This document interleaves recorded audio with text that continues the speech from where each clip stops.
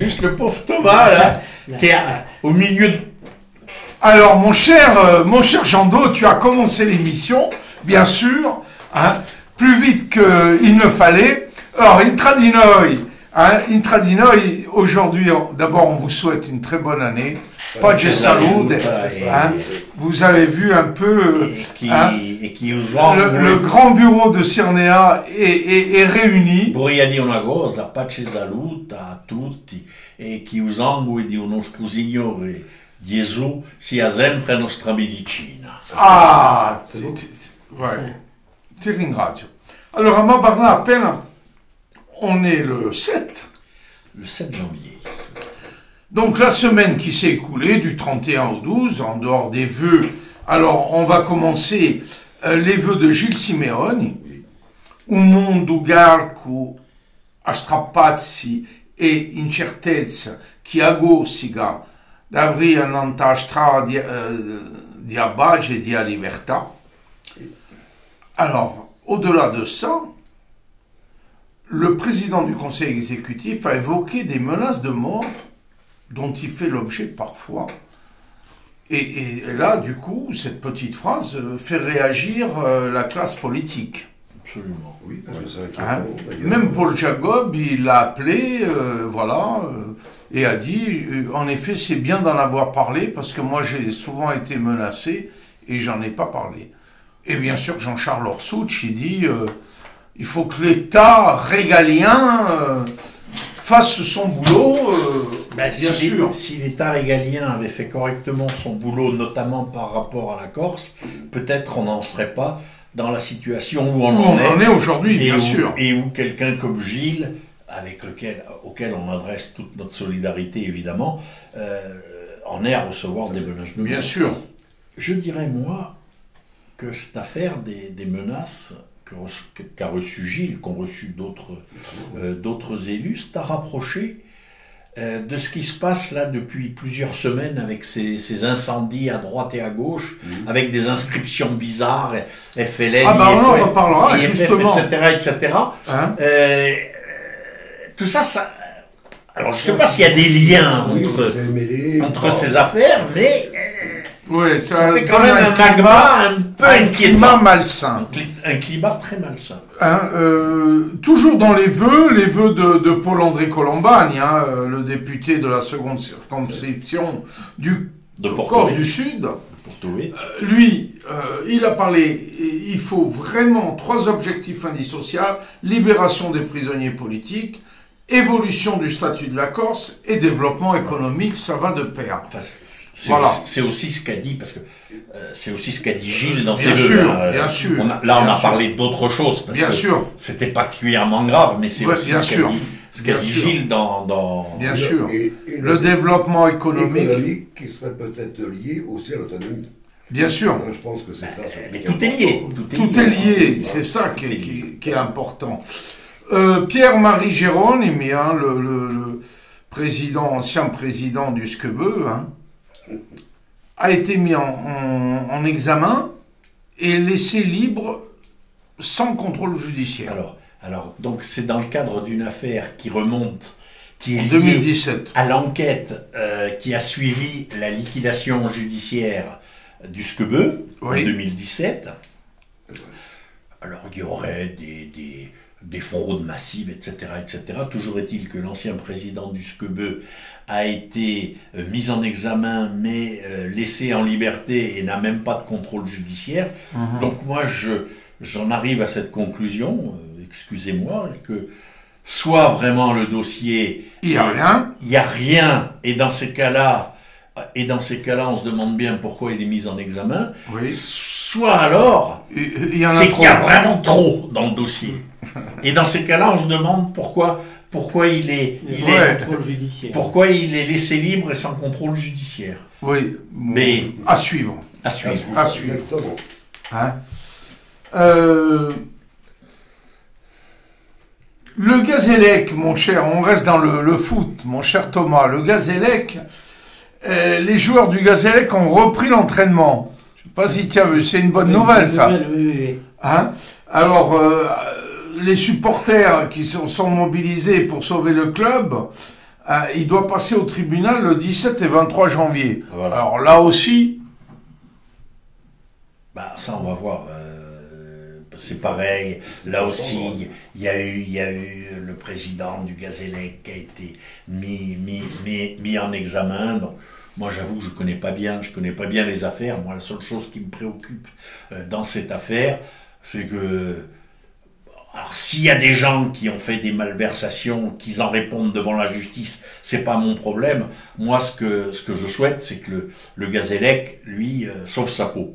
Parce que ça représente, pour, pour moi, oh, c'est non, pour moi, ça non, représente le club. premier club corse, club. bien sûr. premier club corse à avoir fait parler du football corse au niveau national. Bien sûr. même pas oublier Bien sûr. les quatre titres de champion de France Bien sûr. Euh, en plus de ça, c'est un club de sport, mais c'est aussi un outil d'intégration sociale. Bien sûr. Parce que ça émane euh, Bien de, sûr, bien de ce sûr. qu'était ce service public, qui était l'EDF et le GDF. Hein, donc, À euh, l'époque, d'ailleurs, bah oui. Gazélec, hein, c'est Gazélec, à l'origine, à l'origine, Ah oui. c'est ça. À l'origine, c'est ça. Donc, euh, donc euh, voilà pourquoi moi je, je, je souhaite que ce club soit, soit sauvé. Euh, et puis je voudrais quand même euh, dire une chose euh, à propos du Gazélec. On vient d'apprendre là euh, dans les dans, dans- dans ces derniers jours le décès d'un grand joueur qui a été une gloire du Ouais. Gazélec et ensuite du Skebeu, Marc Cagnan. Marc Cagnan, ah ouais. qui, qui est décédé là cette semaine bien sûr. et qui a été une des qui a débuté qui a débuté enfin en France en France Oui, en métropole. Oui, non. en France entre Oui. guillemets Oui. au Gazélec Oui. hein, puisqu'il euh, lorsque le le, le, le, ga- le gaz a remporté son premier titre de champion de France amateur en 63 euh, les dirigeants, pour les récompenser, leur ont offert une tournée en Nouvelle-Calédonie, pardon, excusez-moi, en Kanaki, En Kanaki. et, et à cette occasion, euh, les, les, les, le- le- les joueurs et l'équipe du Gazélec a rencontré donc une équipe de, de, de Nouméa dans laquelle jouait Marc Caz, plus connu sous le nom de, de Cagnan, et ensuite, eh bien, Marc, euh, Marc Caz euh, est, est reparti avec, avec les joueurs des Gazélec, et, et ensuite il, il a eu la carrière que l'on sait euh, en Corse, donc euh, au Il a par- GFCA. participé Au à la, à la coupe de finale de la Coupe de France de 72. Il a participé en 72 à la finale de la Coupe de France avec le Skebeu, Ah oui, oui. etc., etc. Enfin, c'est, il a par- ça a été un des joueurs phares de l'équipe de France amateur euh, lorsqu'il était, lorsqu'il était, au, lorsqu'il était au Gazélec. Euh, il a même euh, fait partie de l'équipe de France olympique en 68 euh, au, Mexico. à Mexico, qui avait été en quart de finale euh, du, du tournoi. Il avait été, euh, il avait été considéré comme un des meilleurs joueurs du tournoi. Enfin bon, bon c'est une grande, grande perte. Alors, que de repose in santa pace. Très bien. Les premières auditions de la commission d'enquête visant à faire lumière sur l'assassinat d'Ivan Colonne euh, se dérouleront le mercredi 11 et jeudi 12 prochain. Voilà. Alors on n'en sait pas on plus. saura pas On n'en plus, sait pas plus pour plus. l'instant. Donc Bon. euh, l'enquête sera présidée par le député donc Jean-Félix Aquayur. Ah ben, Jean-Félix, bon, au passage, tanti auguri, ripace salute. Et Voilà. puis on compte sur toi, Jean-Félix. Voilà. À Galeota, à ça remonte au temps de Paoli, tu le sais. Mais là, c'est le navire euh, qui marche au gaz naturel liquéfié de la Corsica Linea. Il lance un navire. Voilà. Donc, euh, la marraine, c'était Laetitia Cook, hein, euh, de, de INSAM. Hein, c'est très important quand même, tout ce qu'elle fait, euh, Laetitia, qu'on salue ici. Et la bénédiction, bien sûr, par l'évêque de Corse. Voilà. Donc, euh, on ne peut pas dire bon vent aujourd'hui à, à- à un navire, puisqu'il va marcher, n'est-ce pas, euh, Thomas? Il va marcher au gaz. On peut toujours dire au vent. Bonne, bonne route. Le gaz. Le Gazélec. Le gaz. Oh là là, oui. Alors je voudrais, je, je- alors, je vais encore faire mon rabat-joie. Alors bon, Mais quand même, à, à cette occasion, euh, je crois que on a joué l'hymne ukrainien. oui, on a fait chanter. Alors il y avait euh, Battista Kwaiwa Ah oui. qui a chanté euh, le Mais c'est euh, accompagné d'une chanteuse ukrainienne. Alors, Euh, donc pourquoi? Je ne sais pas pourquoi on a choisi Alors, je- encore l'Ukraine. j'ai rien, mais bon, j'ai rien contre. J'ai rien contre cette chanteuse, mais Mais euh, bon, euh, on, se, demande euh, On voit pas trop le rapport. pourquoi, euh, Oui. pourquoi une chanteuse ukrainienne. peut-être qu'il y avait un rapport entre la, gaille- la Gagliotta, qui datait, qui, qui, qui est un nom qui a été utilisé par Pascal Paul en son temps, et qui correspondait avec Catherine II de Russie, peut-être. Oui, bah alors, dans ces cas-là, on aurait pu, on aurait pu euh, avoir une chanson russe. Ah bah, Euh, peut-être. euh, là, j'avoue, franchement, j'ai- j'ai, plutôt peur que ça soit encore. Une récupération politique. Une ah non, récupération non, politique. tu vois toujours la politique Ah, partout. Ouais, moi, je suis. Non, euh, je dois être. Vraiment, qu'est-ce que tu en penses Adieu Dominique spiritus tortu. On peut pas voir la politique partout quand même. Non, mais bon, euh, c'est Ah, vrai que Oui, enfin, on le, rapport entre la, la Notea et l'Ukraine n'est pas évident. hein. on, on peut se poser des questions. Mais C'est beaucoup de questions. Hein. Ben, je sais pas. Bon, alors on continuera sur. Bon, je- ceci dit, moi, j'ai, rien contre l'Ukraine. Hein, euh, non, Moi non plus. Mais Euh, voilà, euh, c'est bizarre. Voilà. Euh, troisième incendie sur la commune d'Alat.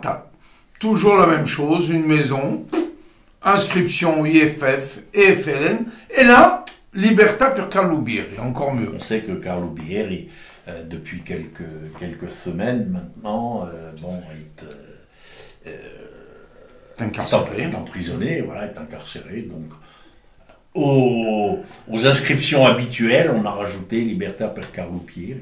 Alors, là encore, je ferai la, la même, le même commentaire qu'à chaque fois.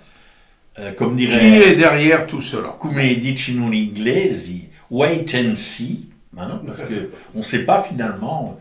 C'est très facile, hein, euh, de, taguer un mur. de, de taguer un mur. N'importe qui peut le faire. hein. n'importe qui peut le faire. Donc, euh, je sais pas. Euh, Là, on attend de savoir euh, ce qu'on attend d'en connaître, euh, d'en connaître un peu plus sur ces, À qui sur profite, cette affaire. à qui À qui, à qui, qui est-ce que ça profite? Qui est, qui est derrière? On ne sait pas. Et je dirais simplement, pour la énième fois, Torna Vignale qui dit un bel oui. Ange Pierre Vivoni. Ange Pierre Vivoni, qu'on salue, qui est le maire de Cisco, et président de l'association des maires de Haute-Corse. Il est favorable à la libération des prisonniers politiques, Tout à fait. mais cette affaire doit se régler au-dessus de Gérard Darmanin, puisque euh, Gérard Darmanin a dit oui, mais c'est pas moi, c'est pas moi, c'est pas moi qui peux trancher ça. Alors, si c'est pas lui, Alors si c'est pas lui. Non, non, mais, qui, euh, non, non, mais attendez, attendez, attendez. Moi, je veux bien croire, monsieur Darmanin. Darmanin. Moi, je suis plein de bonne volonté, moi. Je suis plein de bonne non mais ne vois pas de la politique partout. Mais j'en vois pas de la politique. Bon. Justement, je dis, monsieur Darmanin dit que c'est pas de son ressort, qu'il y a la séparation des pouvoirs. Très bien, moi j'accepte. Voilà. Voilà. Bon, alors dans ces cas-là, pas la peine de s'adresser à monsieur Darmanin. Et, Non. et monsieur Vivonne a tout à fait, a tout à fait raison. Il n'y a faut qu'à taper plus haut. Bien sûr. Taper plus haut, c'est quoi Le C'est garde des Sceaux. c'est Ma- c'est le garde des Sceaux, Voilà. ou alors c'est Matignon, ou carrément Manu. Voilà. Manu. Bon. Eh, eh, Non, mais attends.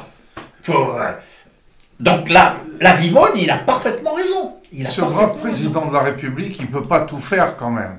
Ah bah si lui il peut pas tout faire, c'est pas nous qui allons faire à sa place. Oui. C'est lui qui a voulu être élu. Hein. Moi, je... Manu, Manu peut pas tout faire. On, on l'a vu pour les vœux. Oui. Ben, il- Il est allé faire du... euh, non, c'est le, le soir de Noël, il a été faire du bowling. Oui, bon. Mais pour ses vœux, il était au Mais bon, c'est euh, pas politique le bowling. Tout allait bien, il était au courant de rien. Bon. Oui, donc, donc on en revient, s'il vous plaît, à, à notre ami Euh, Vivoni. Oui. Ange-Pierre Vivonne. Ce qu'il dit, c'est important, c'est, c'est- et, et c'est très sensé. C'est très sensé. Bien sûr. Effectivement, il faut aller taper là où il faut taper. Et, et où est-ce qu'il faut taper? C'est au niveau du président de la République. Bon, et qu'on arrête, qu'on arrête Oui, cette avec, hypocrisie. avec mais- la séparation des pouvoirs, etc. etc.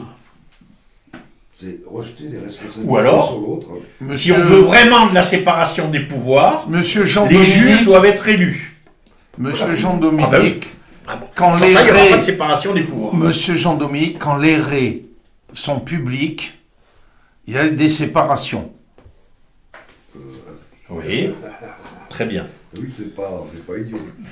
Hein Très bien. Voilà. Et donc, mais, mais ceci dit, il a parlé de la question des, des prisonniers, et c'est très bien, et, et nous on le remercie. Bien sûr. Il a aussi euh, parlé L'assainissement de l'eau Hein les problèmes de l'eau, de l'assainissement, la spéculation et les déserts les médicaux. déserts médicaux. Parce que ça, c'est Bah, S'ils n'ont pas d'instruction, les c'est- pauvres C'est mères, des choses, voilà. Lui, il se place. il- il- il- en tant qu'élu local. Il se place en tant qu'élu municipal, en tant qu'élu local. Il dit, moi, je, il y a les députés qui ont leur rôle, les conseillers territoriaux qui ont leur rôle. Moi, en tant qu'élu d'une commune, j'ai mon rôle. Et je peux agir sur certains points. Il a dit, moi, je me sens pas, euh, je me sens pas compétent pour agir au niveau du statut de la Corse, puisque j'ai pas été élu pour ça. Moi, j'ai été élu pour gérer les problèmes de ma commune. Moi, je veux gérer les problèmes de ma commune. Les problèmes de ma commune, c'est les problèmes d'eau, d'assainissement, d'ordures ménagères, de spéculation et de déserts médicaux. Voilà. Et il dit, moi, je veux qu'on ait des possibilités d'agir là-dessus, parce que pour le moment, on ne peut rien faire. Je crois que c'est frappé au coin Bien du sûr, bon sens. bien sûr. Ce que dit M. Vivonne et... Bon, ben, il va être sûrement écouté, je pense. Ben, j'espère. Parce qu'il y a, il y a deux membres du gouvernement qui sont attendus en Corse. Hein, euh, D'abord, euh, la ministre chargée de l'économie sociale et solidaire et de la vie associative, Marlène Schiappa. Marlène Schiappa, Qui d'ailleurs... Elle va corse, venir. Qui est corse, hein Oui, mais elle, elle- elle va prendre vraiment un, un format long du, du lundi 16 au jeudi 19 janvier. Elle devrait y être. Du lundi 16 au jeudi. Tu vois un peu? Bah, Quand même, si avec ça, elle va, elle va, elle va pouvoir toucher la température. Rencontrer du monde, oui. oui. C'est vrai que avec un mandat en Corse aussi long, euh, c'est évident qu'elle va nous trouver la solution qu'il faut. Il n'y a plus besoin de représentation démocratique. Marlène va nous sauver.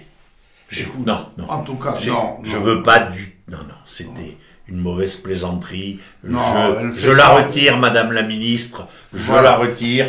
On vous aime bien. Et on attend, on attend votre position sur notre association, ainsi que votre visite, bien sûr. Et vous serez la bienvenue et vous nous prévenez et on ouvrira pour vous les meilleures bouteilles. Exactement. Alors, euh, un autre, euh, un autre, une autre ministre, parce que c'est des femmes, et de plus en plus il y a de femmes, Agnès Firmin Lebaudot. Elle est ministre déléguée chargée de l'organisation territoriale et des professions de santé.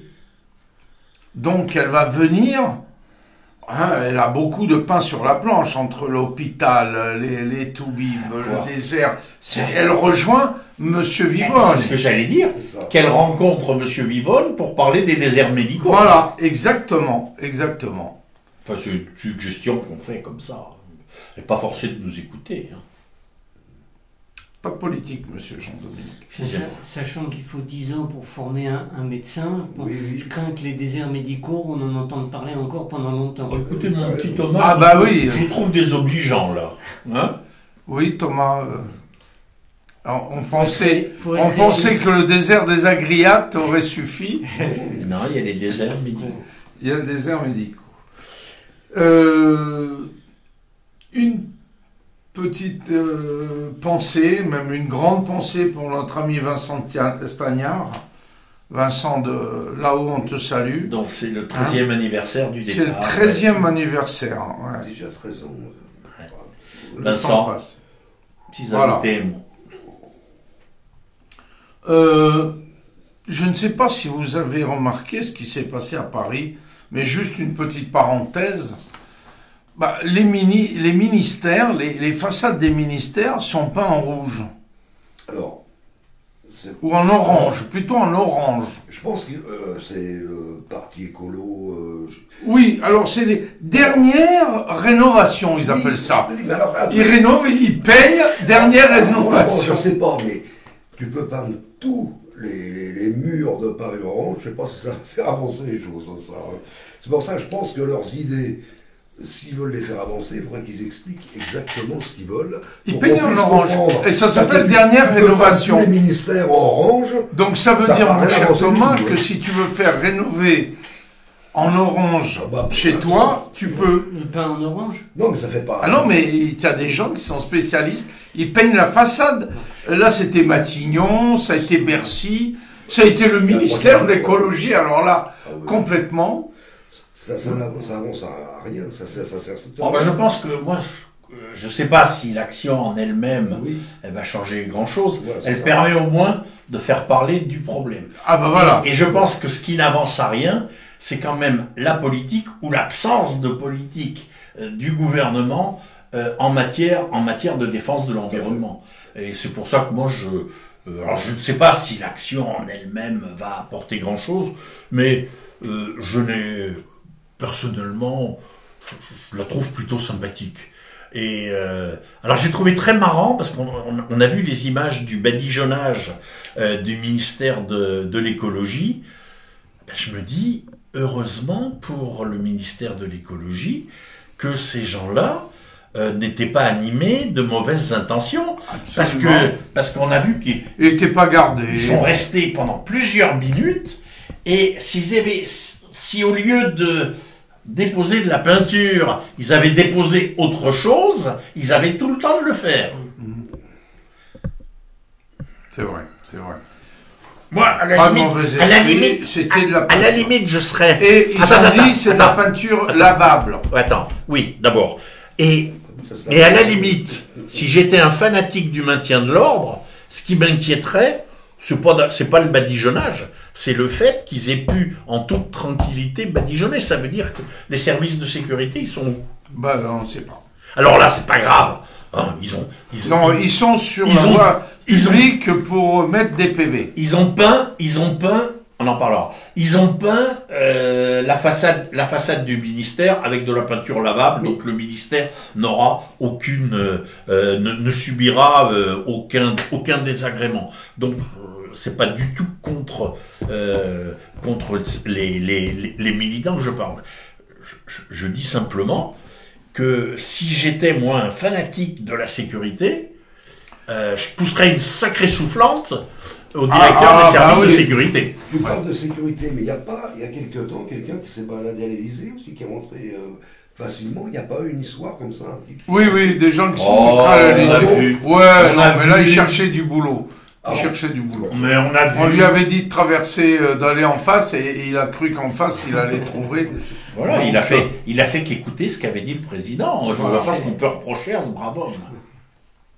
Bon, nous saluons ici a traversé nos la amis là qui, qui euh, se remuent pour que Bastia Corsica Ah oui, 2028. alors, est où, en fait, ça Ah ben le dossier a été déposé le 2, D'accord. le 2 janvier au ministère de la Culture à Paris.